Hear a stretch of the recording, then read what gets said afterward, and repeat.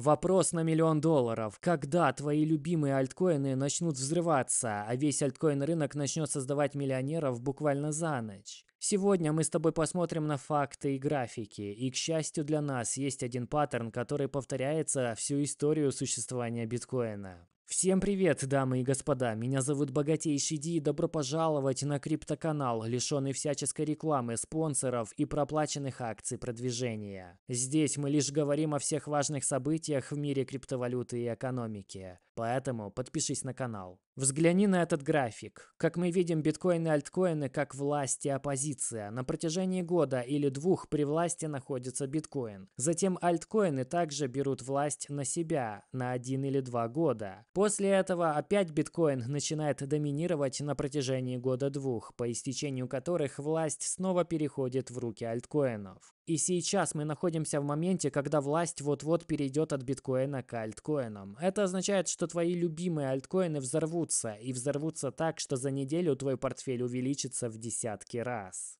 Это 2017 год. Биткоин стоил 1200 долларов, эфириум 23 доллара. Почему это примечательно? Потому что это та же фаза, в которой мы находимся сейчас. Эта фаза закончилась тем, что биткоин взлетел до 13 900 долларов, а эфириум до 700. Это и был переход власти от биткоина к альткоинам. А это 2021 год. Вот этот диапазон цен – это та же фаза, в которой мы находимся сейчас. И по завершении этой фазы биткоин вырос с 15 тысяч до 58 тысяч долларов. Эфириум с 447 долларов до 4 тысяч долларов. И даже XRP с 20 центов до 1 доллара. Все это значит, что у нас есть четкий и очевидный паттерн, который происходит прямо перед альткоин-сезоном. Это исторический график доминирования разных криптовалют. Синим обозначено доминирование биткоина, зеленым эфириума, Binance коина, оранжевым и так далее. В начале 2016 года доминирование биткоина составляло 90%, что уже невероятный показатель. Это означает, что 90% денег на крипторынке сидело в биткоине, и только 10% было распределено между альткоинами.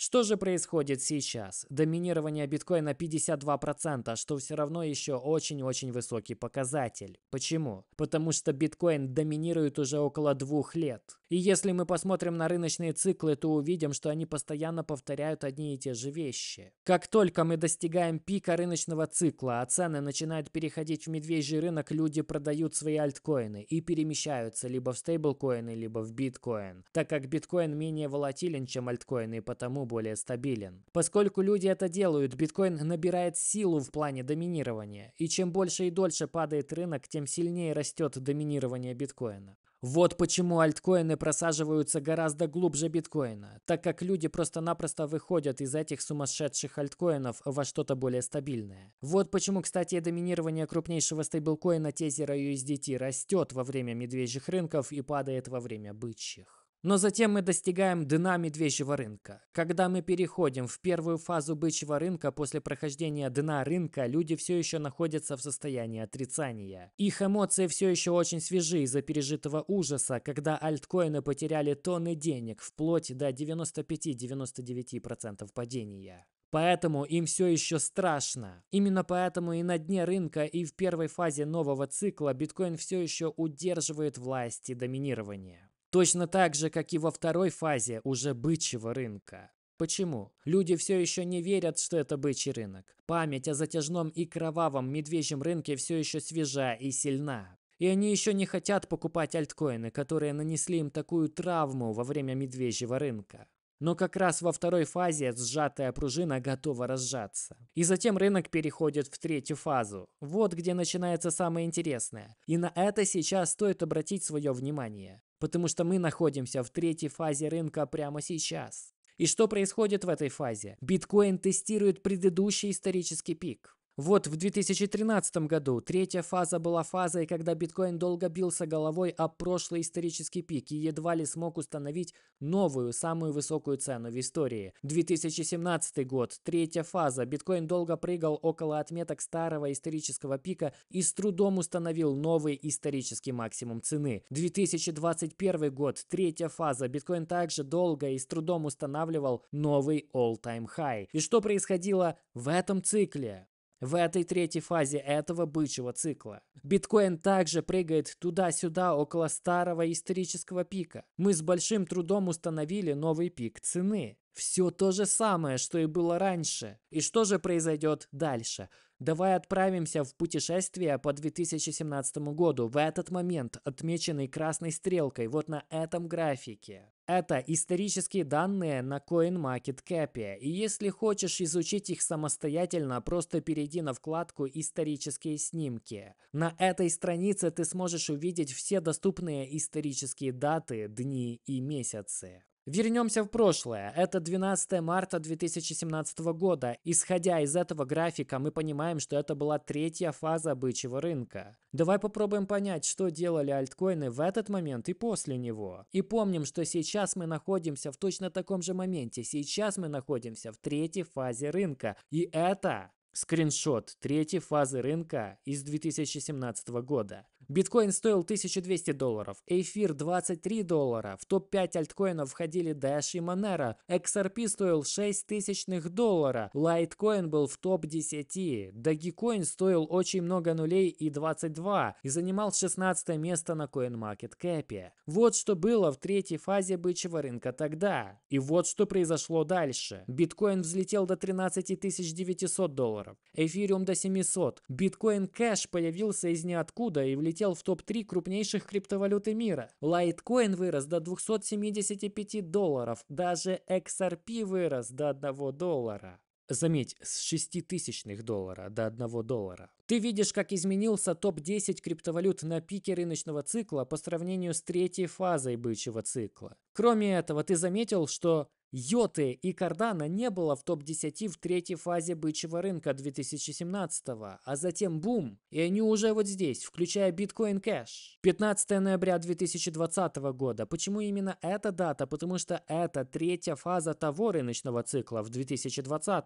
Биткоин только что сумел достигнуть отметок предыдущего пика, и многие люди уже начали задаваться вопросами про альткоин сезон что было в той третьей фазе бычьего рынка. Биткоин торговался на отметке около 16 тысяч долларов. Эфириум стоил 450 долларов, XRP 26 центов, Bitcoin Cash выпал из пяти крупнейших криптовалют. Лайткоин, наоборот, держался около 62 долларов. Binance Coin 27 долларов, Cardano около 10 центов. Вот как выглядела картина в третьей фазе бычьего рынка в 2020 году, прямо перед тем, как случился большой взрыв. Но как выглядел этот топ-10 не в третьей фазе бычьего рынка, а на пике всего рыночного цикла? Эфириум более 4000 долларов. Binance Coin стал третьей крупнейшей монетой. Посмотри на третью фазу того бычьего рынка. Binance Coin был только на восьмом месте. Но затем с восьмого места монета переместилась на третью позицию во время бума альткоинов. Solana на пятом месте, хотя еще в третьей фазе рынка ее даже на радаре не было. Ты видишь, что движения цены альткоинов были взрывными. Многие монеты взлетали так сильно, что поднимались в рейтинге на множество ступеней. Речь идет даже не о двух и даже не о трех иксах. Большое количество альткоинов за короткий период времени взорвались так сильно, что изменили многие жизни. И все это произошло в фазе номер 4 после третьей фазы бычьего рынка. Сдвиг импульса на рынке произошел между третьей и четвертой фазами. Давай для лучшего понимания быстро пробежимся по всем бычьим рынкам биткоина. Вот эти красные стрелки отображают то, где находилась третья фаза бычьего рынка, и мы сейчас находимся в такой же фазе. И это та самая фаза, которая заканчивается сдвигом импульса, сдвигом рынка, называй как хочешь. Почему именно в конце этой фазы происходил сдвиг сознания инвесторов? Отметь последовательность событий и как они влияли на инвесторов в каждом цикле. Сначала мы достигли исторического пика рыночного цикла, на котором, к сожалению, покупало большинство людей, провоцируя blow-off top, вот такие огромные высочезные зеленые свечи. Затем цены начинают падать и переходят в медвежий рынок. Люди бегут из альткоинов либо в стейблкоины, либо в биткоин, потому что биткоин менее волатилен. И когда альта падает на 99%, биткоин может потерять всего 60%. Кроме того, люди больше уверены в том, что после падения именно биткоин отрастет, а не какой-то рискованный альткоин. Именно потому, что инвесторы бегут из альты в биткоин в этой фазе, альткоины очень сильно истекают кровью. Затем мы достигаем дна медвежьего рынка. На улице улице все еще очень много крови. Большинство людей, к сожалению, продают все больше и больше и больше всего около дна. Затем начинается первая фаза бычьего рынка, но большинство людей все еще ее боятся. Никто не покупает альткоины в фазе номер один, так как память о кровопролитии на рынке еще очень свежа. Вторая фаза бычьего рынка также в основном игнорируется. Люди все еще очень напуганы. Людям все еще снятся ночные кошмары из-за того, как сильно обвалились их альткоины. По ночам они просыпаются в холодном поту. Я сделал так много денег на моих альткоинах, а затем все это богатство просто исчезло на моих глазах. Правда, некоторые люди все еще держат альткоины, надеясь, что они восстановятся хотя бы в безубыток. Но таких людей меньшинство, поэтому сдвига импульса на рынке все еще нет. Это видно на графиках. Посмотри, биткоин был при власти около двух лет. Только затем альткоины перехватили ее также на срок около двух лет. Затем снова биткоин, снова альткоин. И такая ротация происходит снова и снова. Если посмотреть на вершину цикла вот здесь, то мы видим, что альткоины начали действительно отдавать доминирование биткоину в конце 2022. Власть перешла к биткоину. Мы видим, что его доминирование в конце 2022 составляло около 40%, а сейчас более 50%. В течение всего 2023 года альткоины были просто уничтожены. Все выводили оттуда свои деньги из-за страха. Это спровоцировало огромный эффект домино. И с тех пор биткоин действительно находится у власти, забирая все большую долю доминирования с рынка. Но это скоро изменится. Практически два года царствования биткоина подходят к завершению. Когда люди переходят в третью фазу, они начинают просыпаться. Именно тогда в воздухе появляется небольшое волнение насчет альткоинов, ведь биткоин уже преодолел исторический пик, а альткоины еще нет. Это третья фаза, в которой мы находимся. И это может быть незаметно, но во время этой фазы альткоины растут в два раза. Например, наш экспериментальный публичный портфель вырос с 1500 долларов до практически 3500 долларов, и на пике его стоимость пыталась приблизиться даже к 4000 долларам. Вот почему я показываю тебе эти графики. Сейчас мы находимся в третьей фазе, и в воздухе начинает витать шумиха о сезоне альткоинов. Но когда он действительно начнется? Мы должны смотреть на графики и сохранять спокойствие. Настрой свой график в TradingView, открой уровни коррекции Fibonacci и растяни сетку от пика цикла до его дна. Сделай это на логарифмическом месячном графике биткоина с вот такими настройками. Вот зачем ты должен следить. За этим. Вот когда альткоин сезон начнется. Он начнется, когда уже никто не ждет, когда все разочаруются в своем ожидании, и он шокирует весь мир. Вот когда твои любимые альткоины начнут взрываться так же, как это было в 17 и 21. И в данный момент третья фаза бычьего рынка выглядит так. Биткоин по-прежнему лидер, эфир по-прежнему номер два, но после выхода из третьей фазы и взрывного движения, что за ней последует, в топ-10 появится несколько новичков, которых раньше даже не было в топ-15.